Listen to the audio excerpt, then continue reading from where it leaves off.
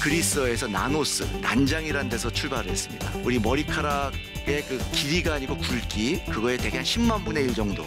단백질 한 개가 보통 수 나노미터 정도 됩니다.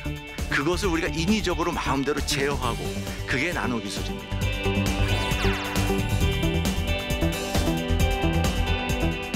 나노 기술이 벌써 일상생활에도 사용되고 있는 겁니다. 우리가 쉽게 약국에 가서 임신 진단 키트를 삽니다. 임신했으면 빨간 줄이 나타납니다. 그 줄이 바로 금을 나노 사이즈로 쪼개가지고 빨간색이 나타나게 만든 그런 기술입니다.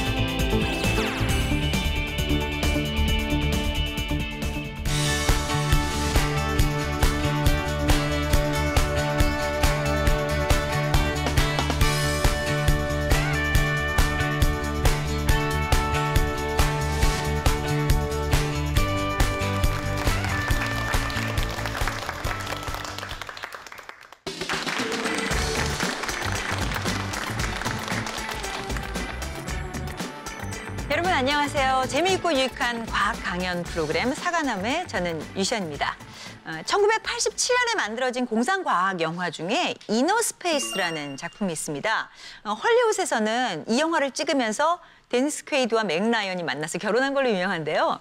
영화 내용적으로 보면은요.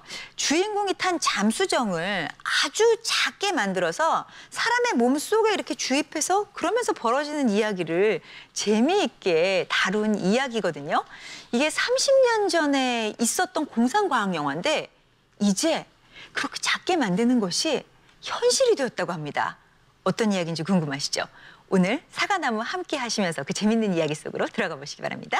강연을 해주실 정봉현 단장님 모시겠습니다. 박수 부탁드릴게요.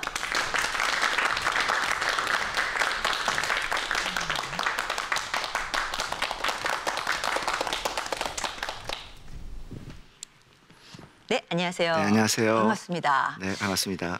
제가 오늘 굉장히 이렇게 작게 만드는 거다라는 이야기를 앞에서 했는데요. 조금 유식한 말로 나노 바이오 기술이라고 한다면서요. 네. 그 나노 바이오 기술이라는 게 뭡니까? 그 나노 바이오 기술은 아주 첨단 기술 분야인데요. 그 우선 그 나노 기술이라는 거는 뭐냐면 아주 작은 사이즈를 얘기합니다. 그러니까 우리가 분자 하나 그런 걸 이제 인위적으로 제어하고 그런 걸 나노 기술이라 그러는데 최근에 그 나노 기술을 이제 바이오 분야에 적용해서 아주 건강하고 그다음에 우리에게 안, 안전한 그런 삶을 영위하게 하는 그런 아주 유익한 기술이라고 하겠습니다. 건강 소리가 나오니까 벌써 귀가 솔깃해지시는 분들이 많을 것 같아요. 자, 그럼 나노 바이오 기술 어떤 내용인지 박수로 청해 듣도록 하겠습니다. 네.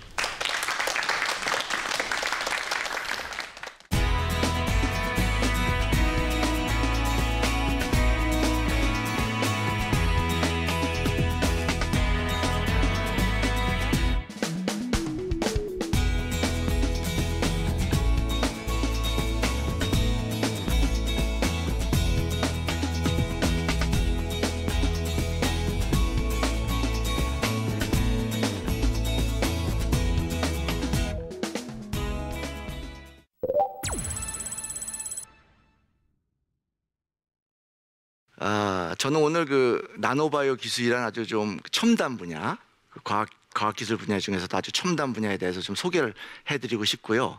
제가 오늘 그 해드리고 싶은 거는 우선 나노바이오 기술은 무엇인가 거기에 대해서 좀 설명을 드리고, 그다음에 나노바이오 기술이 우리 생활에 어떻게 응용이 되고 미래에 우리의 생활을 어떻게 바꿀 수 있을 것인가 거기에 대해서 간략하게 좀 강연을 하고자 합니다. 우선 나노바이오 기술을 이해하기 위해서 나노 기술을 이해해야 됩니다. 나노 기술이 최근에 많이 알려졌지만은 나노 기술에 대해서 좀 더 제가 설명을 드리면 나노라는 것은 아주 작은 것을 의미합니다. 그 어원은 그 그리스어에서 나노스, 난장이라는 데서 출발을 했습니다. 난장은 아주 작은 걸 얘기하잖아요. 그죠? 그래서 대개 우리 머리카락의 그 길이가 아니고 굵기, 그거에 대개 한 10만 분의 1 정도. 그러니까 보이지도 않죠. 아주 작은 사이즈입니다. 대개 그 정도가 되면은 분자가 하나 정도. 보통 여기 어, 어, 화면에 있지만 단백질 한 개가 보통 수 나노미터 정도 됩니다. 그것을 우리가 인위적으로 마음대로 제어하고 그런 기술이 가능하게 됐습니다. 그게 나노 기술입니다. 그러면 우리가 나노 기술이 왜 그렇게 첨단 기술로서 많은 과학자들이 관심을 갖고 있고 그것이 어떻게 인류의 삶을 바꾸게 될 것인가 그런 기대를 하게 된 거 말씀을 드리면 어떤 물질이 나노 사이즈가 되면 제가 말씀드렸지만 머리카락 굵게 10, 만 분의 1 보이지도 않는 그런 사이즈가 되면 기존의 특성이 완전히 변하게 됩니다.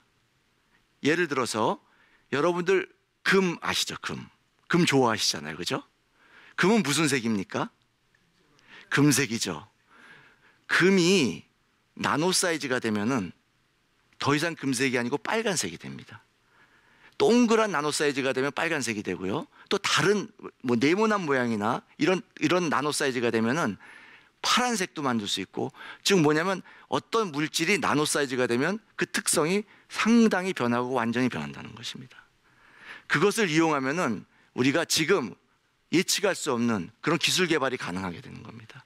그래서 최근에 나노 기술이 새로운 기술 분야로서 굉장히 각광을 받고 있습니다.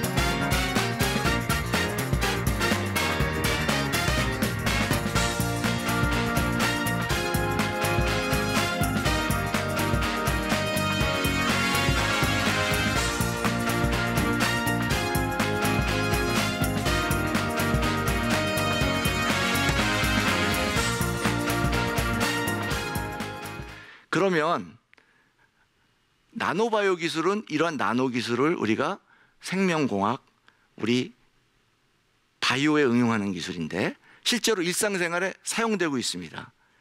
자, 금이 나노 사이즈가 되면은 빨간색도 될 수가 있다 그랬죠. 아주 조그만 양으로 빨간색을 나타냅니다. 왜? 그게 나노 기술의 특징입니다. 우리가 쉽게 약국에 가서 여성분들이 이제 임신을 하면은 약국 가서 임신했는지 안 했는지 하기 위해서 약국 가서 임신 진단 키트를 삽니다. 그래서 우리가 거기다 이제 인뇨를 딱 떨어뜨리죠. 그러면은 여기에 레피드 킷이라는 것인데 임신됐으면 빨간 줄이 나타납니다. 그 줄이 바로 금을 나노 사이즈로 쪼개 가지고 조그만 양이 있어도 빨간색이 나타나게 만든 그런 기술입니다. 실제 뭐냐면 나노 기술이 벌써 일상생활에도 사용되고 있는 겁니다. 그러면 나노바이오 기술은 무엇이냐? 제가 다시 한번 말씀드리지만 그러한 나노 기술을 우리 생체 시스템에 적용하는 거고 우리 생체 물질을 나노화해서 그것을 이용하는 것입니다. 그럼 어떤 분야에 사용될 수가 있냐면 우리가 신약을 개발한다든가 또 질병을 진단한다든가 제가 무슨 병이 걸려 있는 거를 굉장히 조기에 진단한다든가 또는 제 질병을 치료한다든가 그런데 나노 기술을 이용할 수가 있습니다. 이 나노 기술은 바이오뿐만이 아니고 에너지, 뭐 반도체, 전자, 기계 다양한 분야에 사용되는 기술인데 왜 바이오 기술에서 사용된 나노 바이오 기술이 제일 중요한가? 자, 휴대폰은 우리의 삶을 편안하게 해주지만 우리는 편안한 것도 좋지만 건강하고 오래 살기 원하죠. 그죠? 나노바이오 기술은 우리의 삶을 건강하고 그 다음에 안전하게 그런 굉장히 유용한 기술이라는 거죠. 그래서 나노 기술 중에서도 나노바이오 기술은 가장 핵심이 되는 기술로 각광을 받고 있습니다.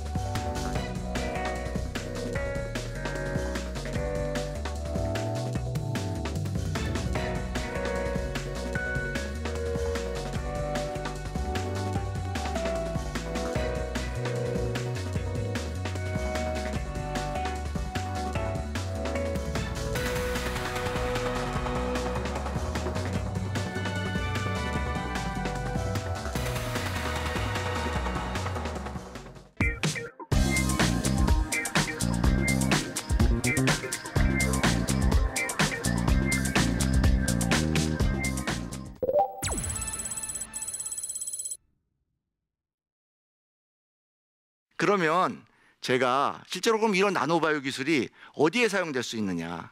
그 이그젠플을 쭉 예를 들어가면서 여러분들한테 좀 쉽게 설명을 하겠습니다. 실제 이런 기술들이 지금 개발되고 있고 이런 기술들이 실제로 적용되면은 우리 미래의 삶을 바꿀 거라고 예측이 되고 있습니다. 여러분 센서 아시죠? 센서가 뭐죠? 뭘 측정하는 게 센서죠. 그죠? 바이오 센서는 뭐냐면 바이오 물질을 측정하는 겁니다. 그게 바이오 센서입니다.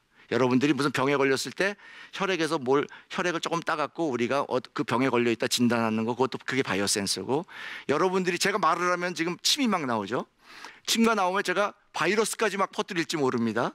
그러면 여기서 그 바이러스를 측정할 수가 있죠. 아주 적은 양의 바이러스. 그것은 일반 센서로 되는 게 아니고 우리가 센서를 나노 기술로 아주 정밀하게 만들었을 때 그때만 가능해지는 겁니다. 자, 그러면 여러분, 자, 우리가 여행 갔다 오면은 공항에서 특히 저기 뭐 전염병 같은 게 많이 뭐 바이러스 같은 게 많이 퍼지. 요새 에볼라 바이러스에서 아프리카에서 아, 아프리카 사람들 입국 못하게 하지 않습니까? 자, 여러분들 여행 갔다 오면은 뭘 재죠? 그런 바이러스 같은 게 감염된지 알기 위해서 체온을 재죠. 자, 체온 갖고서 바이러스가 정확하게 여러분들 감염됐다고 알 수 있을까요? 그거는 단지 바이러스에 걸렸을 때 막 열이 나고 그걸 측정하는 거죠. 그런데 나노바이오 센서가 되면은 실제로 체온이 열이 막 올라가기 전에도 아주 극미량의 바이러스를 나노바이오 센서로 여기 보면 색깔이 확 변하게 한다던가 또 여러분 제가 기, 이렇게 기침할 때 나오는 바이러스를 여기서 아주 정밀한 나노바이오 센서로 측정한다던가 그런 게 다 가능한 겁니다. 실제로 지금 에볼라 바이러스 때문에 굉장히 여러 가지 전 세계적으로 문제가 되고 있는데 이런 나노바이오 기술이 그런 것들에 대해서 상당히 많은 솔루션을 해결해 줄 것으로 지금 기대를 하고 있습니다. 그 다음에 재미있는 또 흥미로운 기술이 휴먼 지놈 프로젝트란 말 여러분들 들어보셨을 거예요. 뭐죠? 우리 각각 여러분들은 각각 다 다른 유전체, 다른 유전체를 갖고 있습니다. 미래에는 우리가 여러분들이 병에 걸렸잖아요. 병원 가면은 약을 다 다르게 투여합니다. 왜냐하면 여러분들이 각각 다 다른 유전체 때문에 다른 약에 의해서 다른 효능을 갖기 때문입니다.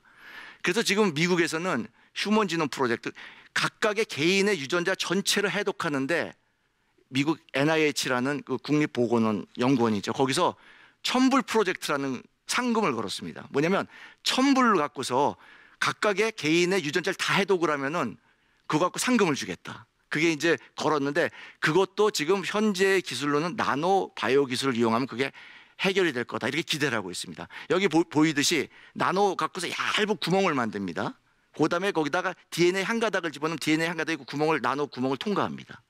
그러면서 여러분이 갖고 있는 AGTC 그, 유, 그 유전자 다른 것들의 그, 그 연기 서열을 분석하면서 실제로 첨불 안에 여러분 각각의 그런 유전자 지도를 다 해독, 해독할 수 있는 이런 기술도 나노바이오 기술로 가능할 거라고 기대를 하고 있습니다. 그 다음에 또 많이 쓰이는 분야가 약물 전달 분야입니다. 약물 전달이란 건 뭐냐면은 약을 나노 어떤 구조체 안에 약을 집어넣습니다. 지금도 일부 약물 전달해서 여러분들 약을 먹으면 오랫동안 약이 지속되는 그런 게 약물 전달 기술이 있는데 나노바이오 기술은 거기에 더해서 나노 약물 전달체 약을, 약을 집어넣은 다음에 여러분 만약에 암을 암이 걸렸다 그러면 암 부위만 치료가 돼야 될 거 아니에요. 그러면 그 나, 나노 약물 전달체 위에다가 암 부위만 인식하는 그런 항체 같은 걸 붙입니다. 그 다음에 암을 또 볼 수 있는 그 영상 조영제 같은 걸 집어넣습니다. 하나의 그 나노 주- 그 구조체 안에. 그 다음에 그걸 투여하면은 그게 암만 정확하게 가서 암세포만 가서 거기 암을 볼 수가 있고 거기에서 약물을 탁 투여해서 암을 치료할 수 있는 이런 것들도 나노 기술, 나 바이오 기술에서 가능하게 될 거로 기대하고 있습니다. 또 막 냄새가 나요. 악취가 납니다. 그 다음에 막 그 독가스가 막 나왔어요. 자, 사람이 들어가서 그걸 어떻게 측정합니까? 전자코. 지금 전자코에 대한 연구가 많이 되고 있는데 여기 보이다시피 이게 나노 구- 와이어라는 구조체에다가 우리가 냄새를 맡는다는 것은 특정한 냄새 성분을 우리 그 인체 내 receptor, 그걸 인식하는 receptor가 있어갖고 그 냄새를 맡는 건데 그 receptor를 나노 와이어 표면에다가 탁 붙입니다. 그 다음에 이런 독가스 있는 데다 냄새가 나는 데다가 탁 하면은 그 냄새가 딱 날 때 그 리셉터가 그 냄새를 잡아갖고 이 나노 와이어 센서가 딱 신호를 줘가지고 그 냄새가 무슨 냄새다 알 수가 있습니다. 식품이 부패됐다. 그런 것도 다 가능하게 되죠. 이런 전자코 같은 것도 나노바이오 기술에 의해서 가능할 것으로 기대하고 있고 지금 활발한 연구가 이루어지고 있습니다. 자, 왜 바- 바이오 물질은 왜 이렇게 팬시한가? 제가 여기 보면 우리 사람 몸 속에는 ATPase라는 그러한 효소가 있습니다. 그 ATPase는 아주 흥미롭습니다. 사람 몸 안에 있는 효소인데 ATP라는 그런 물질을 탁 집어넣으면 이게 빙글빙글 돕니다. 그 빙글빙글 도는 건 뭐죠, 여러분들? 모터잖아요, 모터. 우리 아까 처음에 얘기했듯이 이너스페이스란 영화에서 공상 속의 영화에서 이제 우리 사람 몸 속에 잠수함을 집어넣어서 질병을 치료하는 시대가 올 거냐 말씀하셨죠. 이런 모터들이 요게 바로 나노 단백질이 모터 역할을 하는 겁니다. 단백질은 수 나노미터밖에 안 되죠. 이것들이 그런 잠수함의 모터 기능을 함- 하면서 미래에는 진짜 그런 공상과학 영화가 실현될 수 있을 것이다 하는 게 현재 생각입니다. 자, 그러면 나노바이오 기술은 어떻게 바뀔까요? 여러분들. 제가 아까 말씀했지만은 아까 나노바이오 센서는 지금 모든 장소에 비치가 될 수 있습니다. 지금 바이러스 이런 유- 굉장히 유해한 바이러스들이 막 돌아다닐 때 상시 그것을 모니터링해서 확산되는 것을 방지할 수 있는 그런 것도 가능하게 됩니다. 또한 나노바이오 기술을 이용하면은 우리 질병을 굉장히 빨리 진단을 해가지고 그런 것들을 조기에 우리가 무슨 병에 걸렸다는 것을 알므로써 그런 것들을 사전에 그 병이 더 심화되기 전에 그런 것을 예방할 수 있는 그러한 역할도 합니다. 또 나노바이오 기술은 사람 몸속에 나노바이오 기술로 우리가 만들어진 약을 사람 몸속에 집어넣음, 집어넣음으로써 굉장히 효과적으로 부작용이 없이 우리가 원한, 원하는 부위만 그 약물이 작용을 해가지고 우리가 선택적으로 그, 그 질병만 아주 효과적으로 치료할 수 있는 그런 것도 가능하게 됩니다. 즉, 나노바이오 기술은 여러분들이 미래에 아주 안전하고 그 다음에 건강한 삶을 영위하게 할 수 있는 그러한 기술로 될 것으로 우리 모두는 생각하고 있습니다. 여러분들도 이렇게 가능할 것이다 하는 그런 꿈을 가지고 하여튼 저희 나노바이오 기술 연구하는 과학자들에게 많은 응원을 해주시면 감사하겠습니다. 이상으로 강연을 마치겠습니다.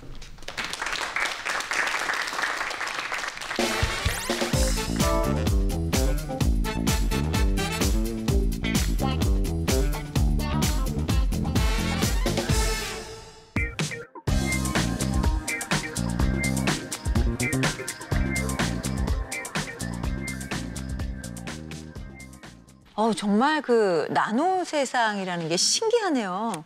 그러니까 그 제가 처음에 얘기한 그 이게 몸속으로 이렇게 들어가가지고 조그만 로봇이 뭐 이렇게 막 수술하고 치료하고 이런 게 다 가능해진다는 말씀이신 거죠? 어, 지금 어, 이제 가능하려고 과학자들이 열심히 일하고 있는 거죠. 네. 그래서 사실 뭐 우리가 얼마 전만 해도 그 뭐 휴대폰 같은 게 사실 기대도 못한 기술이 현재 지금 사용되고 그렇죠. 있잖아요. 그래서 사실 이런 기술도 언젠가는 음. 다 현실화가 될 것으로 저희는 생각하고 있습니다. 맞아요. 예전에는 뭔가 이렇게 수술을 하려면 뭔가 칼을 이용하고 뭐 그랬었는데 요즘은 그런 것도 필요 없고 그냥 뭐 내시경에다가 레이저 이런 거로도 수술하고 그러니까요. 그렇죠. 의료계에 있어서의 그 발전도 정말 어마어마한 것 같습니다. 음, 저는 이런 생각이 들더라고요. 그러면 그 나노 로봇이라는 걸 누구나 이렇게 사용할 수 있으면 뭐 자기가 그 좋아하는 친구나 공부 잘하는 친구한테 이렇게 몰래 싹 붙여가지고 그 친구의 목을 약간 염탐하는 이런 부작용적인 거는 혹시 없을까요? 상당히 그 중요한 질문을 하셨는데요. 네. 이제 그런 부작용도 물론 있겠는데 사실은 이제 나노바이오 쪽에서 가장 그 중요하게 생각, 생각해야 될 부분은 제가 강연할 때 얘기했지만 뭐가 나노 사이즈가 되면 어떻게 된다 그랬죠? 기본적인 특성이 변한다 그랬잖아요. 음. 네. 그거는 뭐가 발생될지 모르는 거잖아요. 그래서 이쪽 나노바이오 분야 중에 중요한 분야 하나가 나노 안정, 안정성. 아, 예, 그게 굉장히 중요한 분야고 그런 연구가 반드시 이게 이게 사람 몸에 투여할 때 안정해야 된다. 음. 그런 게 우리가 확실해야지 사람 몸에 사용될 수 있는 겁니다. 그래서 음. 거기에 대한 연구도 굉장히 중요하게 생각하고 있습니다. 네. 알겠습니다. 오늘 재밌는 나노 바이오 세상을 열어주신 교수님께 여러분 큰 박수 부탁드리도록 하겠습니다. 네, 감사합니다. 네, 고맙습니다. 사람마다 그 머리카락 굵기가 좀 다 다르긴 하지만요. 어, 머리카락 굵기를 100 마이크로미터라고 가정을 했을 때 이 나노 기술은 그 머리카락 굵기 10만 분의 1에 해당한 아주 작은 미세한 것의 기술이라고 합니다. 그런데 과학자들은요, 이 나노 기술이 앞으로 인류에 큰 혁명을 가져올 것이다. 뭐 건강 문제, 식량 문제, 해당이 안 되는 분야가 없을 거라고 예측을 하고 있다고 하는데요.